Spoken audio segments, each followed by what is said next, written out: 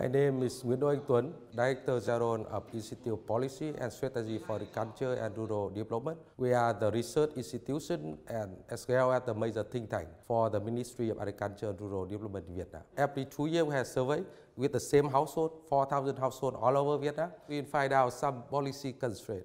For instance, we still have the, the policy uh, that specify the purpose of land use, especially for paddy land. So paddy land just can generate a low value. So it generates little incentive for farmer to buy or to hire more land. Or we uh, have other policy in terms of, you know, like if we want to have land transaction, we must have land use certificate.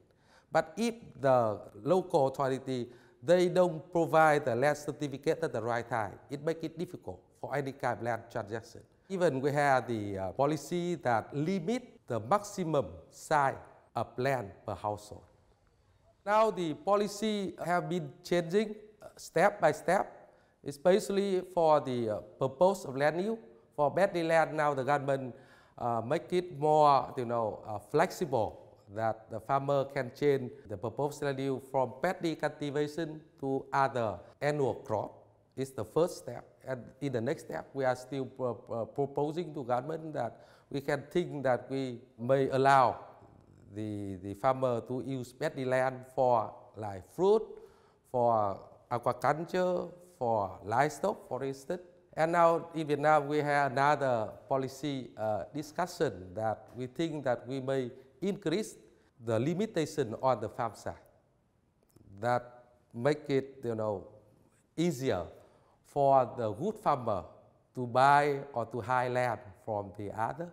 And in the new land law, we also have some specific article that we should develop the uh, land development fund that later on it will help land transaction in rural area. We are thinking how to make land become the financial asset to make it more market oriented so people can take it as the financial asset. They can exchange it, they can transact it, they can hire it, they can lease it easily.